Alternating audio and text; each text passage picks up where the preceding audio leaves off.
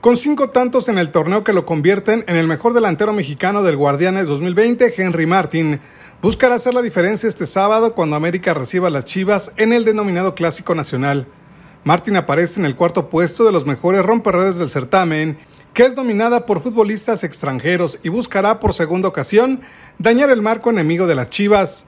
De los 26 goles que lleva con la casaca de América en Liga, solo tiene un tanto ante el rebaño que logró en la jornada 12 de la Apertura 2019 en la goleada de las Águilas 4-1 sobre los rojiblancos. Ante la posible ausencia de Federico Viñas por lesión, Martín podría asumir la responsabilidad del ataque americanista.